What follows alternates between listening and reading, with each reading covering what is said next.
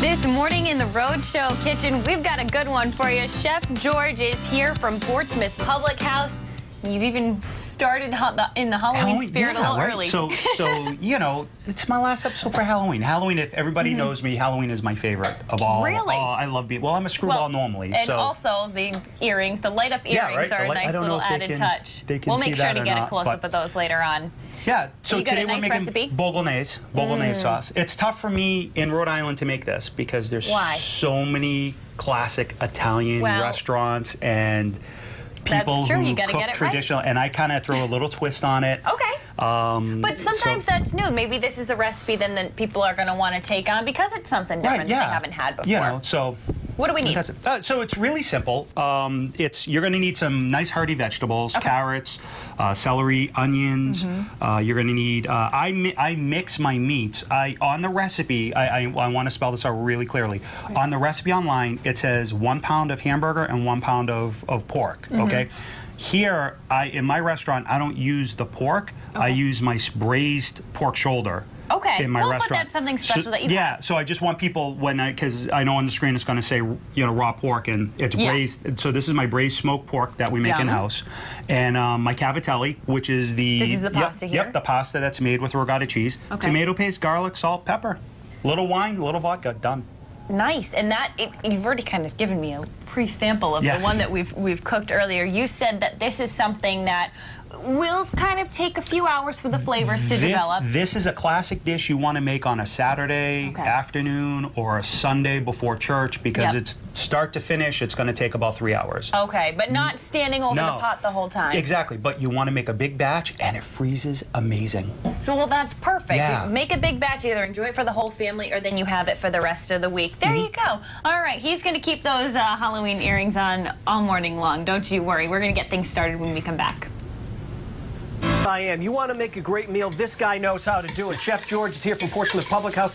Bolognese is on the menu today, and I was telling George just a little while ago, the smell is just wafting through, and it is like, if you're, even if you're not hungry, the smell will make you hungry. Exactly. So, I, I just a quick digression, all right? Yeah. So, is it bolognese or bolognese or bolognese? Uh, I don't, yeah. It, right? Right, I, everybody has their own way of... Uh, I, am Lebanese, I don't know. I know it I smells mean, good. So, um, so what we did is we, we stir fried. I got all the vegetables going mm -hmm. and um, and wilting them down and searing them. And what I was hoping to do is I, I hope we have enough time to show this. Um, is that the bottom of the pan when you get everything going? Mm -hmm. Okay, you want the bottom of the pan develops this little bit of a coating on it. You know, and I don't I, I don't know if we can actually zoom in on that or if they can see that or not. Yeah, that's but good. That's right that's not a burn. That's good. That's all of the sugars coming out of the, the vegetables and the carrots. So you, want, you that. want that. And when that glazes up like that on the bottom of the pan, then it's time to add the meat. Okay. So just take the take your hamburger. Right. Right. Gonna just drop this in. Drop your hamburger right in. All right. You know, I mean, okay. Yep. And then we're gonna just mash that up. Right. In there, saute it up. We're gonna add some salt and pepper. We want to add a lot of salt and pepper because this this is gonna this is gonna not the whole thing about probably two tablespoons, three tablespoons. Mm -hmm. This is gonna take a couple hours on the stove, so we want those flavors to last in there. That's good. Right, right, perfect. Okay. okay. Now we're gonna add the pork. All right.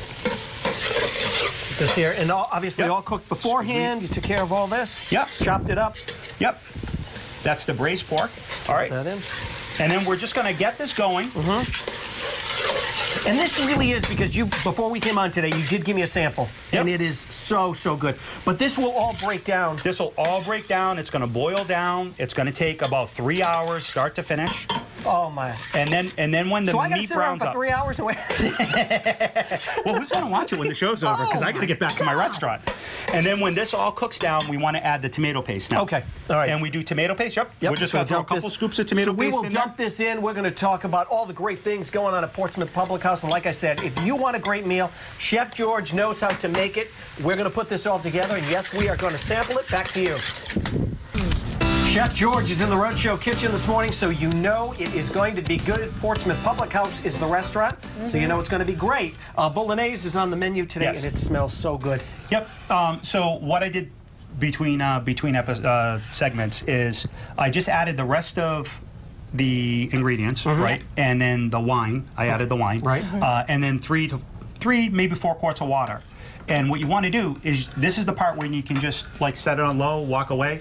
You want it to re- reduce. So look at I don't know if they can see how loose that is. Well, right now it almost looks like a soup. Like a You've soup. got the very prominent chunks. You can tell the Yep. carrots from the meat, to, and then you have a lot of broth there. Yep. And then so you reduce this by half, mm-hmm. and this is what it looks like. Wow. It is George, nice. George while, while it's sitting there, should you cover it or just let it be? I I'm of the school of mine is, is I don't like to cover it. Okay. You know, let it let it uh, let it do its own thing. Let All right. all the steam evaporate. Yeah. It'll reduce faster, and you want to reduce it by half. You know, so that's and it's good to go, and you're done. Beautiful. Very similar to like a chili. If you're going to make chili, let it go. Maybe come back. Yeah, stir it exactly. occasionally. Yeah, and all you want to do is just make sure you, you know you stir it. And you, again, I can't I, I, I can't stress this enough.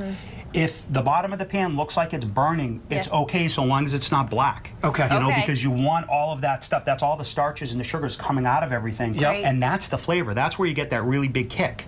You know. Hmm. And, now, what's the smell that we smell too? Because I know there's a lot of ingredients, but there's something to it. And is it the wine that It's is really giving what that? you're smelling right now is a cross between the wine and the vodka. All right. All right, cooking in Well, there you go. You, which, you know, so which the alcohol will gonna- cook yeah, it's gonna off. it cook all off cooks anyway. off. So this it is all totally- cooks off, and it- and it's just pure flavor. Mm-hmm. So let's um, you know, let's grab a, a scoop of pasta. Okay. So I use the cavatelli made with ricotta. Got Uh, it. and there's so many great places around Rhode Island to get fresh pasta. Right. You know, I understand there's a price difference between dried and fresh. But there's a taste difference. There's a huge taste difference. Yeah, that should be You're gonna have to be like digging all the way down. Yeah, well, it's such a big pot. It is. Okay. Good. And that's it. There we and then go. you want to make sure your pasta's al dente. You know, Mm-hmm. and that's it. And then you're just gonna Scoop some you some know, on there. put some of this nice thick heavy sauce on there. Is this something that you have at the at the restaurant? Yes, uh, today actually we launched our brand new menu last night. You, everyone Great. knows every couple months I change up my menu. Yep. Mm-hmm. So uh, so I launched a brand new menu, and this is uh, this is the star.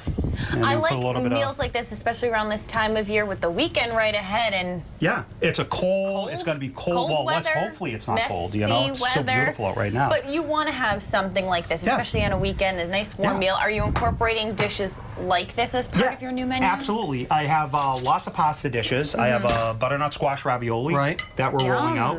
And we have a, um, a vegan dish, a vegan ravioli. Great.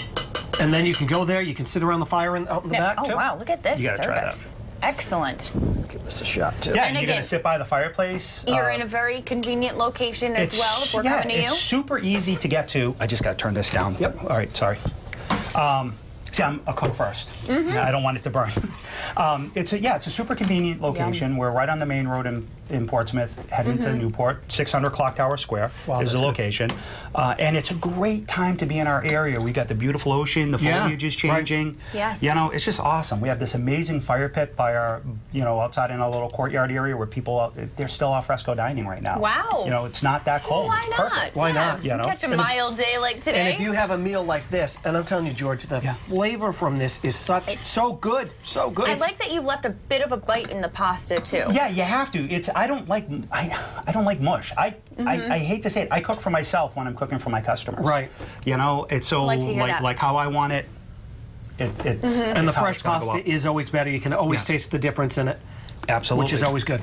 Yum. absolutely. And look at that. I'm just so blown away by how much that The diff- reduces. yeah, it is, and it's and this is exactly how it's going to look because this at or you know last night. Right. You know, they look the exact same. Right. And I boiled it down, boiled it down. Beautiful. And, you know, some people are tempted to put cornstarch in it, Mm-hmm. or they're tempted to put a Just roux let base go. inside of it. Let it go. Don't play with Mother Nature. You can even pair a, a nice Yeah, glass and then we have the with too. Ravenswood wine. Oh, the wine. I want to talk about the wine. Use a good cook. Don't use cooking wine. Use, Use a wine that that, you you're going to drink. drink. You know, it's delicious. Mm-hmm. Always If it's adds good better enough for your belly, always adds better flavor, too, and everything else. Exactly. Yum. And that- pair them both together. yeah, there you go. Ravenswood's cheap. You're excited. You know, eight bucks a bottle, Even ten bucks a bottle. See, he's better. looking out for you. And If it you, is want so it- good. if you want this recipe, make it tonight, make it this weekend, make it for the rest of the year. Head on over to the Rhode Show page, WPRI.com.